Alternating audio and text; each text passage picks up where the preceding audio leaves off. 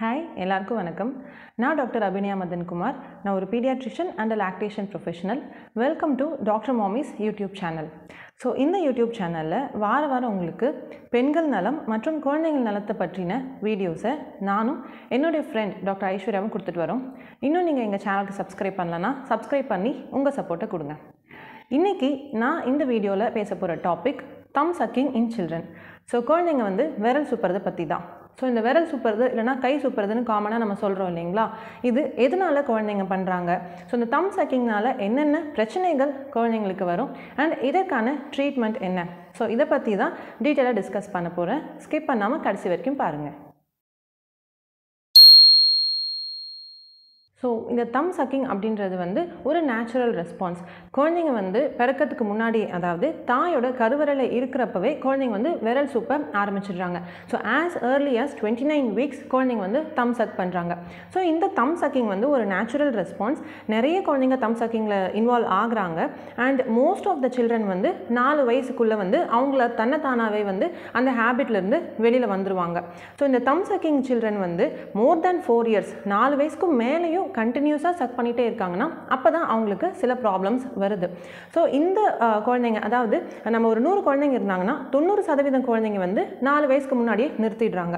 இந்த பத்து சதவீதம் குழந்தைங்க தான் நாலு வயசுக்கு மேலேயும் தம் சக்கிங்கை கண்டினியூ பண்ணுறாங்க அதுலேயுமே மேக்ஸிமம் சில்ட்ரன் வந்து ஆறுலேருந்து ஏழு வயசுக்குள்ளே இந்த தம் சக்கிங் ஹேபிட்லேருந்து வெளியில் வந்துடுறாங்க. ஸோ இது ஏன் வந்து இந்த குழந்தைங்க தம் சக் பண்ணுறாங்க எல்லா குழந்தைங்களும் பண்ணுறதில்ல பட் சில குழந்தைங்க ஏன் சக் பண்ணுறாங்க அப்படின்னா அது வந்து அவங்களுக்கு ஒரு காமிங் சென்ஸ் கொடுக்குது. ஸோ குழந்தைங்களுக்கு வந்து ஒரு தூக்கம் வருது இல்லைனா வந்து பசி எடுக்குது. அவங்கள சுற்றி யாருமே இல்லை. ஒரு போர்டம் ஃபீல் பண்ணுறாங்க அப்படின்னா வந்து அவங்க சக் பண்ணுவாங்க. சில சமயம் அவங்களுக்கு வந்து உடம்பு சரியில்லை ஒரு சிக்னஸ் அந்த டைமில் வந்து தம் சக்கிங்கில் இன்வால்வ் ஆகுறாங்க. ஏதாவது ஒரு ஸ்ட்ரெஸ் இருந்ததுன்னா குழந்தைங்க வந்து தம் சக் பண்ணி தன்னை தானே சூதன் பண்ணிக்கிறாங்க. அவங்கள வந்து அமைதிப்படுத்திக்கிறது அவங்கள சூதன் பண்ணிக்கிறதுல வந்து இன்வால்வ் ஆகுறாங்க. ஸோ இந்த தம் சக்கிங் வந்து ரிலேட்டிவ்லி ஹார்ம்லெஸ் நாலு வயசுக்கு மேலே போச்சு அப்படின்னா தான் குழந்தைங்களுக்கு ஒரு சில ப்ராப்ளங்கள் இதனால் வரும்.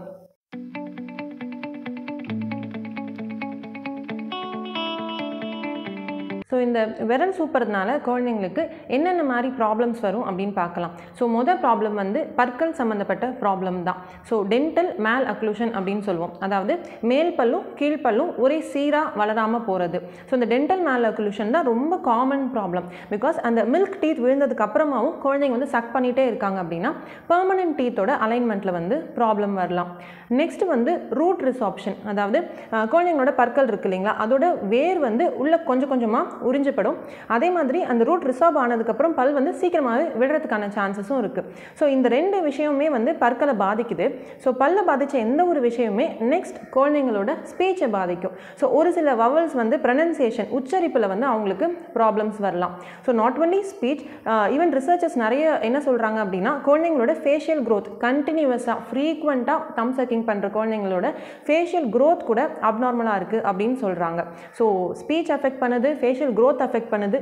இதுக்கப்புறமா என்ன ப்ராப்ளம்ஸ் வரும்னா கண்டினியூஸாக தம் சக் பண்ணுறாங்க ஸோ இந்த விரலே வந்து அவங்க பண்ணிட்டு இருக்காங்க சக் பண்ணிட்டுருக்காங்கன்னா ஒரு சில இடத்துல வந்து ரொம்ப திக்காக டிஷ்யூ வளரும். கெலோசிட்டி அப்படின்னு சொல்லுவோம் இங்கிலீஷில் ஆணி அப்படின்னு கூட சொல்லுவோம். ஸோ ரொம்ப திக்காக டிஷ்யூஸ் வளரும். ஸோ இந்த கெலோசிட்டிஸ் வந்து எந்த தம்பு ஐ மீன் இப்போ தம்பு யூஸ் பண்ணுறாங்க அப்படின்னா அங்கே வந்து வரலாம். சில சமயம் வந்து குழந்தைங்க வந்து விரல் வந்து சூப்பிட்டு இருப்பாங்க. ஸோ அந்த விரல்லையும் இந்த கெலோசிட்டிஸ் வந்து ஃபார்ம் ஆகலாம்.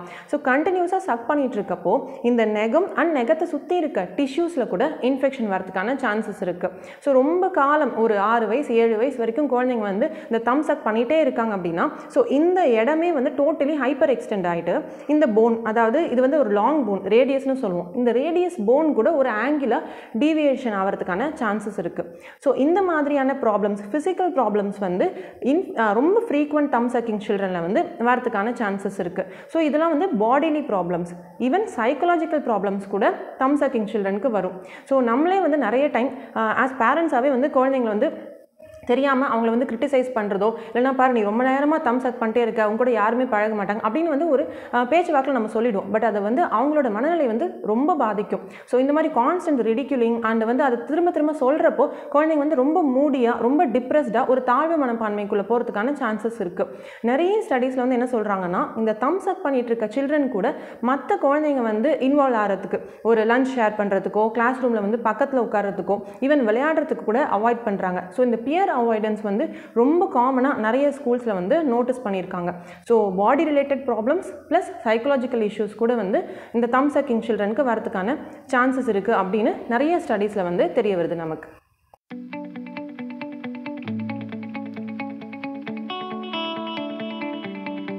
ஸோ இந்த தம் சக்கிங்க்கு என்ன தான் டாக்டர் ட்ரீட்மெண்ட்டுன்னு நிறைய பேரண்ட்ஸ் வந்து கேட்பாங்க.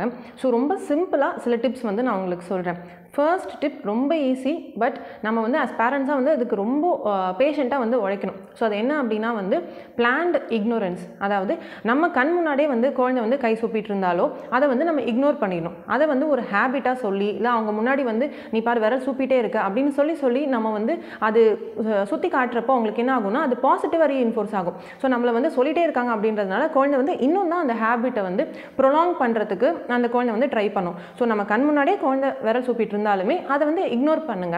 சம்டைம்ஸ் குழந்தை வந்து ஒரு போர்டம் யாருமே அக்கம் பக்கத்தில் இல்லை அப்படின்னா விரல் சூப்பிட்டு இருப்பாங்க. ஸோ இந்த கைகளால் அவங்க பண்ணக்கூடிய ஆக்டிவிட்டீஸ் ஒரு பிளே டோவ் கொடுத்து இல்லைனா வந்து ஒரு பில்டிங் பிளாக்ஸு ஒரு டாய்ஸ் கொடுத்து ஸ்டாக் பண்ண சொல்கிறது இந்த மாதிரி அவங்க விரலை கையை யூஸ் பண்ணி ஏதாவது ஒரு ஆக்டிவிட்டீஸ் பண்ணுறதுக்கு நம்ம அந்த டைமில் அவங்கள இன்வால்வ் பண்ணோம் அப்படின்னா இந்த விரல் சூப்புறதை அவங்களே வந்து மறந்துடுவாங்க. ஸோ பிளான்டு இக்னோரன்ஸ் இதுதான் வந்து ஃபர்ஸ்ட் டிப் இது வந்து ரொம்ப ஈஸி சொல்கிறதுக்கு பட் பேரண்ட்ஸ் வந்து டெஃபினட்டாக பேஷண்ட்டாக இதை வந்து ரொம்ப ட்ரை பண்ணணும். So next tip for parents என்ன அப்படின்னா ஐடென்டிஃபிகேஷன் ஆஃப் ட்ரிகர்ஸ் நான் ஏற்கனவே சொன்ன மாதிரி குழந்தைங்க வந்து ஏதாவது ஒரு விஷயத்தினால வந்து தம் சக் பண்ணுவாங்க. சில பேரண்ட்ஸ் வந்து சொல்லுவாங்க டாக்டர் பகல்லலாம் நல்லா இருக்குது குழந்தை பட் நைட் தூக்கம் வந்தால் மட்டும் குழந்தை வந்து விரல் சூப்ப ஆரம்பிச்சிருது அப்படின்னு சொல்லுவாங்க. ஸோ ஸ்லீப் அது வந்து ஒரு ட்ரிகர் ஸோ ஸ்லீப்னாலேயோ இல்லை வந்து பசினாலேயோ இல்லை யாராவது குழந்தைய திட்டாலோ இல்லை ஏதாவது ஒரு ப்ராப்ளம் ஏதோ ஒரு ஸ்ட்ரெஸ்னால குழந்தை வந்து விரல் சூப்புவாங்க. ஸோ அந்த ட்ரிகர் வந்து ஐடென்டிஃபை பண்ணுங்கள் இது ரொம்ப ஈஸி நிறைய பேரண்ட்ஸ்க்கு வந்து ட்ரிகர் என்னன்னு தெரியும். ஸோ அதை ஐடென்டிஃபை பண்ணி முடிஞ்ச வரைக்கும் அந்த ட்ரிகரை வந்து நீங்கள் அவாய்ட் பண்ணிட்டீங்கன்னா ஸ்லோவாக குழந்தை அந்த தம் சக்கிங்லேருந்து அவங்களே வீன் ஆஃப் ஆயிடுவாங்க. ஸோ நெக்ஸ்ட் டிப் என்ன அப்படின்னா வந்து ரிவார்ட்ஸ் ரிவார்ட்ஸ்னால் ஒன்றும் இல்லைங்க. குழந்தை வந்து நம்ம இப்போது ஏதோ ஒரு ஸ்கூலில் வந்து ஒரு நல்ல விளையாடிட்டோ இல்லைனா வந்து ஒரு ஃபஸ்ட் ரேங்கோ இல்லைனா நல்ல கிரேட் வாங்கிட்டு வராங்கன்னா பாரு நீ நல்லா பண்ணியிருக்க அப்படின்னு சொல்லிட்டு நம்ம ஏதாவது ஒரு சாக்லேட்டோ இல்லைனா வந்து ஏதாவது ஒன்று கொடுப்போம். ஒரு பென்சிலோ ஏதோ ஒன்று கொடுப்போம். ஸோ இது வந்து ரிவார்ட் ஸோ இதே மாதிரி தான். குழந்தை வந்து ஒரு நாள் முழுக்க இல்லைனா வந்து ஒரு சில மணி நேரம் குழந்தை வந்து தம்ஸ் அப் பண்ணலை அப்படின்னா அவங்கள அப்ரிஷியேட் பண்ணி குட்டி குட்டியாக ஏதாவது ஒரு ரிவார்ட்ஸ் கொடுக்கலாம். ஒரு கிஃப்ட்டே கொடுக்கணும் அப்படின்றது கிடையாது. பெரிய குழந்தைங்க அப்படின்னா ஒரு சார்ட் மாதிரி வீட்டில் வச்சுக்கோங்க. ஸோ அந்த சார்ட்டில் வந்து இன்றைக்கி வந்து அவன் விரல் சூப்பில் அப்படின்னு சொல்லிட்டு ஒரு ஸ்டார் கொடுக்கலாம். இல்லைனா வந்து ஒரு ஸ்மைலி பேட்ச் கொடுக்கலாம். ஸோ இந்த மாதிரி நீங்கள் பண்ண பண்ண குழந்தையோட மைண்டில் வந்து அது ரீஇன்ஃபோர்ஸ் ஆகும். ஸோ இந்த ஹேபிட்லேருந்து நம்ம வெளியில் வரோம். அம்மா வந்து நம்மளை அப்ரிஷியேட் பண்ணுறாங்க அப்பா வந்து நம்மளுக்கு ரிவார்ட் கொடுக்குறாங்க.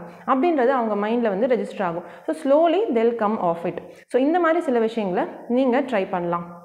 நெக்ஸ்ட் வந்து ரொம்ப காலமாக நம்ம யூஸ் பண்ணிகிட்ருக்க ஒரு ட்ரெடிஷ்னலான மெத்தட் தான். ஒரு கசப்பான சப்ஸ்டன்ஸ் எடுத்து குழந்தைங்களோட விரல் ஃபுல்லாக நம்ம அப்ளை பண்ணிவிடுவோம். ஸோ இது வந்து நிறைய ரிசர்ச் ஸ்டடீஸில் கூட வந்து இதை மென்ஷன் பண்ணியிருக்காங்க. ஆஸ் ஏர்லியஸ் நைன்டீன் எயிட்டி நைனில் ஒரு ஃபேமஸான ஆர்டிக்கலில் ஒரு பீடியாட்ரிஷியன் இதை பற்றி எழுதியிருக்காரு.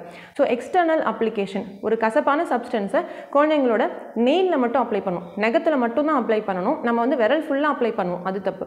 நெகத்தில் மட்டும் அப்ளை பண்ணணும். ஒரு நாளைக்கு morning once evening once and throughout the டேல குழந்தை விரல் சூப்புச்சுன்னா அந்த டைமில் வந்து ஒரு வாட்டி நீங்கள் நகத்தில் மட்டும் அந்த பிட்டர் சப்ஸ்டன்ஸ் கசப்பான சப்ஸ்டன்ஸை வந்து நீங்கள் தடவி விடலாம். பட் அதை தடவி விடும்போதும் கூட நீங்கள் வந்து அதை எக்ஸ்பிளைன் பண்ணணும். எதனால நீங்கள் அதை அப்ளை பண்ணுறீங்க அப்படின்ற எக்ஸ்பிளைன் பண்ணிவிட்டு குழந்தையோட கன்சென்ட் வாங்கிட்டு நீங்கள் அதை அப்ளை பண்ணணும்.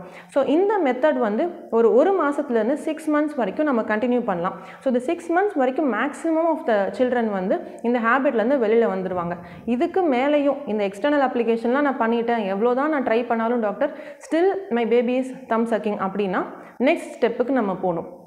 ஸோ நெக்ஸ்ட் ஸ்டெப் என்ன அப்படின்னு பார்த்தோம்னா ஹேபிட் பிரேக்கிங் அப்ளையன்சஸ் அதாவது அந்த தம் சக்கிங் ஹேபிட்டே வந்து பிரேக் பண்ணுற மாதிரி சில அப்ளையன்சஸ் இருக்குது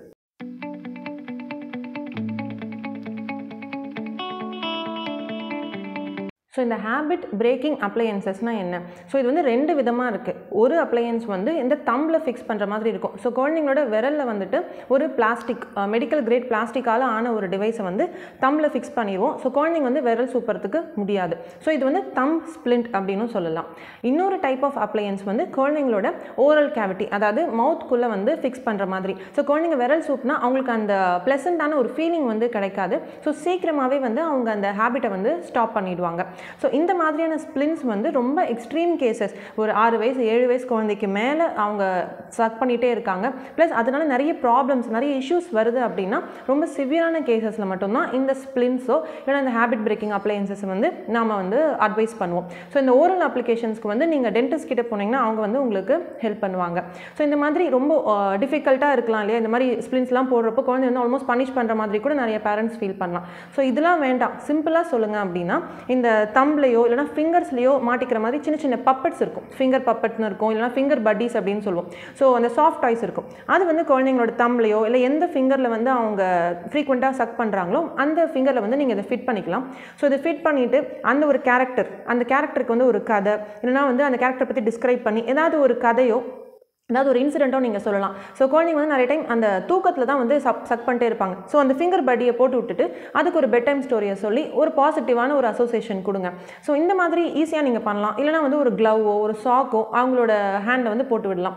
ஸோ இந்த மாதிரி நம்ம பாசிட்டிவாக ரொம்ப ஸ்ட்ரெஸ் பண்ணாமல் சொல்கிறப்போ குழந்தைங்க வந்து புரிஞ்சுக்குவாங்க. ஸோ இந்த மாதிரி நீங்கள் வீட்டில் வந்து ட்ரை பண்ணலாம். இது நிறைய டைம் ஒர்க் ஆயிருக்கு. ஓபிடி பேஷண்ட்ஸ் கிட்டே நான் சொல்கிறப்போ நிறைய பேர் வந்து சொல்லியிருக்காங்க. இப்போ ஒரு ஒன் மந்த்தாக வந்து குழந்தை சக் பண்ணவே இல்லை அப்படின்னு. ஸோ இந்த மாதிரி நீங்கள் ட்ரை பண்ணி பார்க்கலாம் வீட்டில் அண்ட் அண்ட் uh, நிறைய பேரண்ட்ஸ் நினைக்கிற மாதிரி இது ரொம்ப ஒரு கவலைப்படக்கூடிய ஒரு ப்ராப்ளம்லாம் கிடையாது. நம்ம கொஞ்சம் பொறுமையாகவும் பாசிட்டிவாகவும் பாசிட்டிவாகவும் இந்த தம்ஸ் சக்கிங்கை அப்ரோச் பண்ணோம் அப்படின்னா கண்டிப்பாக குழந்தைங்க வந்து இந்த ஹேபிட்லேருந்து இருந்து வெளியில் வந்துடுவாங்க ஸோ நீங்களும் ட்ரை பண்ணி பாருங்கள் அண்ட் இந்த டாபிக் பற்றி உங்களுக்கு வேறு ஏதாச்சும் டவுட்ஸ் கொஷின்ஸ் இருந்துச்சுன்னா நீங்கள் கமெண்ட் செக்ஷனில் கேளுங்க. அண்ட் இன்னொரு இன்ட்ரெஸ்டிங்கான வீடியோட உங்களை நெக்ஸ்ட் டைம் நான் மீட் பண்ணுறேன் until then like share and subscribe and thank you so much for வாட்சிங்